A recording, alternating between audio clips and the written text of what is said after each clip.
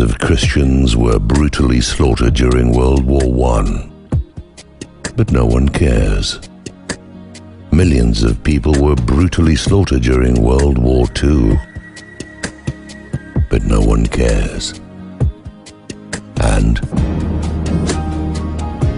only after this bloodshed and horror were the Nag Hammadi codices, the treatise on the resurrection, and the Dead Sea Scrolls, the Thanksgiving hymns, and the scroll of the War of the Sons of Light discovered, revealing that the doctrine of resurrection was taught by Isaiah, Daniel, Jesus, and Muhammad as a doctrine of rebirth, and that the satanic Egyptian Pharisaical doctrine of the physical raising of a dead body from the grave is at the very foundation of a demonic and intrinsically bloodthirsty Jewish, Christian, and Muslim theology, which, for that reason, is responsible for that previous bloodshed. But no one cares. Least of all the media officials and the religious authorities. How did the dragon media officials and the beast of the earth, false prophet Jewish, Christian and Muslim religious authorities respond to the truth?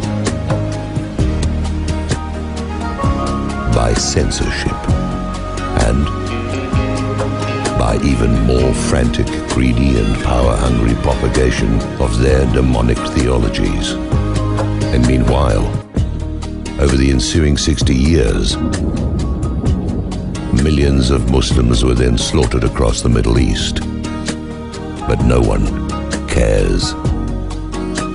So, now at least hundreds of thousands of Jews and millions of Christians and Muslims, having witlessly and unquestioningly swallowed hook, line, and sinker the satanic, bloodthirsty Egyptian theological doctrines and lies of their respective religious authorities, live in anticipation, or so they say, of the arrival of the Messiah, or Jesus, or the Mahdi, who apparently will be required to save them for some unknown reason from the time of trouble prophesied in Daniel 12:1.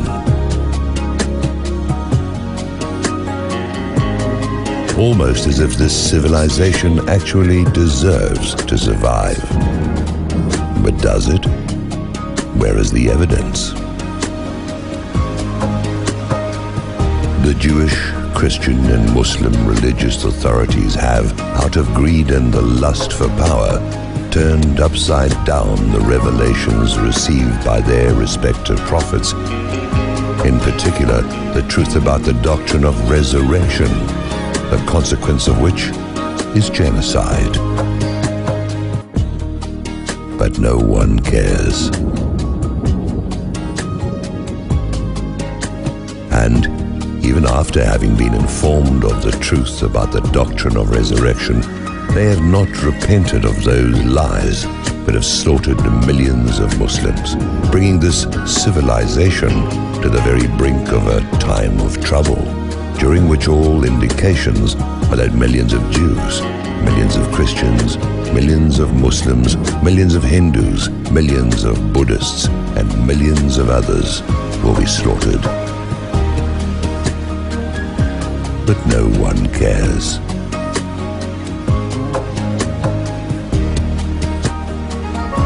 So why, exactly, should a civilization survive at all in which no one cares about the truth? Which no one cares about human life at all?